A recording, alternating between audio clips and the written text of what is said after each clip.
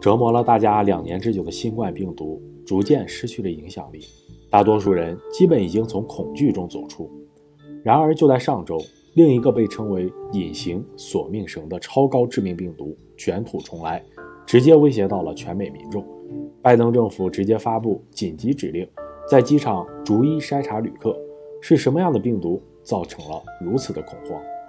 就在近期，东非国家乌干达突然爆发埃博拉疫情，目前至少有六十三例确诊及疑似病例和二十九人死亡。这一数字已经成为了该国二十年来最大的一次疫情爆发，甚至在当地比被新冠病毒带来的影响及恐慌情绪更大。一名官员表示。美国疾病控制与预防中心拟对过去二十一天到过乌干达的人进行体温检测和风险评估。二十一天是埃博拉病毒的潜伏期。国务院发布警告说，这些措施将适用于包括美国公民在内的所有旅客。目前，埃博拉病毒除了超高致命率外，最为关键的是还没有研发出相关的有效疫苗。因此，拜登政府在上周末紧急宣布。将对近期到访该国的旅行者进行病毒筛查。熟悉该计划的官员表示，对部分乘客的筛查已经从十月八号开始，但旅行限制要到本周才会生效。虽然没有从乌干达直飞美国的航班，但经其他国家入境的乘客被转到五个机场接受检查。据悉，每天从乌干达抵美的一百四十五人中，大部分在这些机场着陆。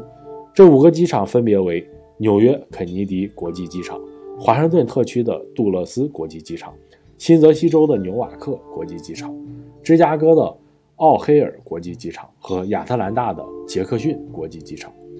同样，这些机场在2014年埃博拉病毒最后一次大规模爆发时，也进行了相似的检查流程。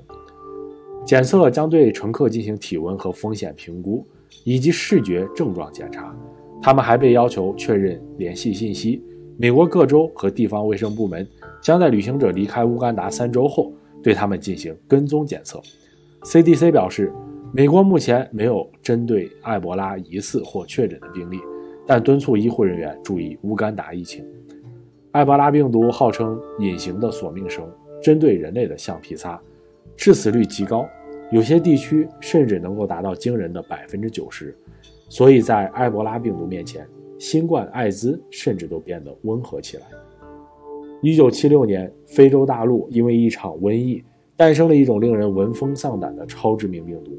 一九七九年，该病毒再次爆发，随后沉寂十五年。一九九四年，加蓬突然出现扎伊尔型埃博拉疫情，来势比之前的更加凶猛。没有人知道这十五年间发生了什么。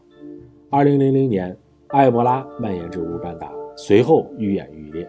二零零三年，刚果共和国记录到了有史以来最高的死亡率，一百四十三名感染者中，一百二十八人死亡，致死率达到百分之九十。截止到二零一三年，WHO 统计到了两千三百五十七例埃博拉确诊病例，其中一千五百四十八人死亡。然而，就在二零一三年年底，西非爆发了有记载以来最大规模的埃博拉疫情。